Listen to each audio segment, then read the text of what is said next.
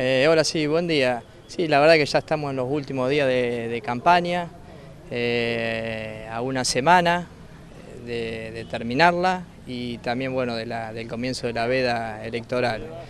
Eh, seguimos haciendo por ahí lo que siempre supimos y, estamos continuamente haciendo, visitando a los vecinos, trabajando, escuchándolos, desde esta comisión comunal, esta nueva comisión comunal, venimos haciendo todos los domingos en los distintos barrios del pueblo eh, jornada, actividades, invitando a los vecinos, eh, juegos para chicos, así podemos conversar y escuchar sus inquietudes para, tener en cuenta para nuestra eh, posible gestión, próxima gestión.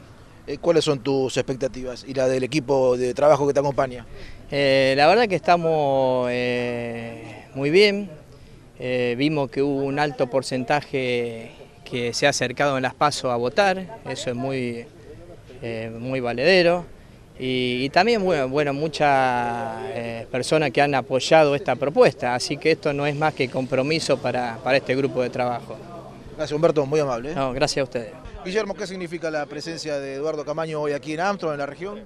No, es un, es un gusto compartir un rato con un, compañero militante de años como lo es Eduardo Camaño, quien, quien ha llegado a ser presidente de la Nación, quien ha sido diputado nacional, realmente un militante trabajador de nuestro partido, que hoy, él esté aquí en Armstrong charlando con nosotros, eh, realmente para, para nosotros es muy importante, apoyando todo, toda esta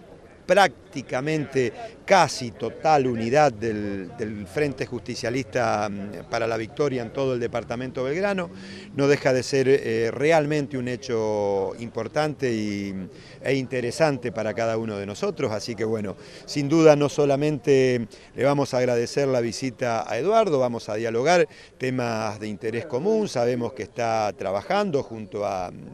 al candidato a presidente Scioli, también charlaremos cuestiones que tengan que ver con la importancia de nuestro departamento, de cada uno de nuestros distritos, en el supuesto caso de que Daniel Scioli sea el próximo presidente de los argentinos, así que utilizaremos esta reunión para todas estas cuestiones importantes que, como siempre digo yo,